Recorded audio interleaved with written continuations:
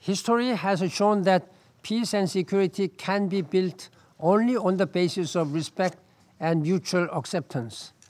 The right of the Jewish people to have a state does not negate the right of the Palestinian people to statehood. Continued occupation and heavy-handed security responses, including the possible excessive use of force and the highly restrictive closure policy in Gaza, play into the hands of extremists.